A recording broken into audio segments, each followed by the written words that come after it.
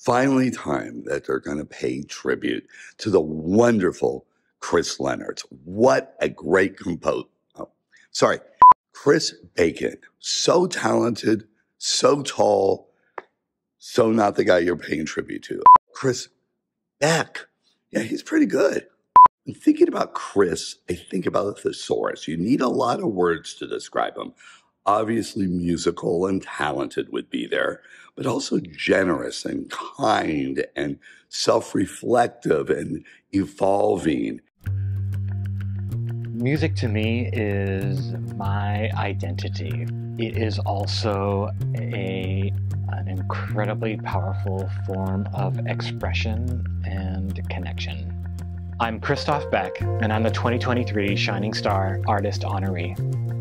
My earliest musical memory is this old electric organ that my parents had in the garage. My parents noticed that I was drawn to this thing and got a piano for the house and um, I started pounding on the piano, and started piano lessons. I remember when I was around 13 or 14, I had a teacher who encouraged me to start composing. You know, the teachers put together these little recitals where all the parents come. I played this piece at the recital and she told my parents that one day Chris will make beautiful music for the movies. At that point, I just wanted to be a rock star. You know, I just had rock star dreams. Film music wasn't even on my radar as something that I could pursue as a career until much later in my development. I love collaborating with other artists. I mean, first of all, you know, my career is built on collaborating with filmmakers. Chris went off and in a few days had composed this amazing piece of music uh, for this cheerleading montage that was exactly what I had asked for, but 10 times better. Every time I work with Chris, I know that the project is just going to be A plus. He's one of the most collaborative people that I've ever worked with in Hollywood. He's also probably one of the most versatile, if not the most versatile composers I've ever worked with. Chris's music just elevated that movie so much and brought this energy and this tone to it that was unbelievable. He's a terrific human being. He's kind and considerate. He's massively talented.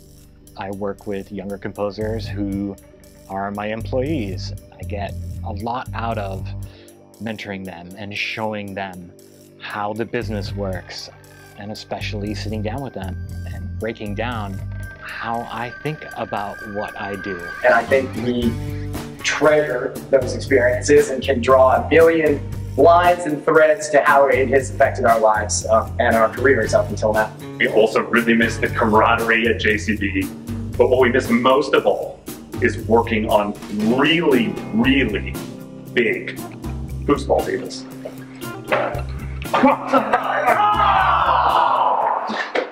I don't think there's anyone I've ever met who says, I don't like music. You know, everyone says, oh, I love music. Sometimes music can communicate feelings and emotions better than words can. It allows us to tap into our humanity. And I think it helps us see the world in a different way, see beauty in the world, see love in the world, and also really kind of find the magic in the human experience. Music speaks to everyone.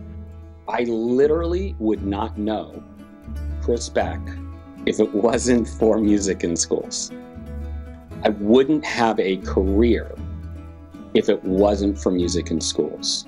One of the reasons why what ETMLA does is so important is it reaches kids when they're younger at an age where they're just exploring what it is that lights them up. One of the things I'm passionate about is diversity in our industry.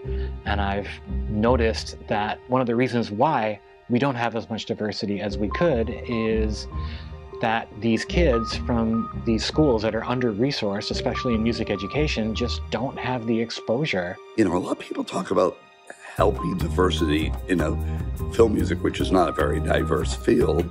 He doesn't just talk about it, he puts his money where his mouth is. And when people talk about furthering education, he actually puts together educational programs to help others. I am a big believer in music as part of a core education for kids. I know for me that music exercises a very different part of my brain. I'm also someone who believes that every single person in the world has music inside them. And I think it's great if they have an education in music and know how to sort of bring that music out. I go out of my way to encourage young people to get as much education musically as possible. As long as we've known you, you've been such an advocate for education in music, and this organization has been a really big part of your life, and you've made it a big part of our lives as well. We can sometimes forget why we're here.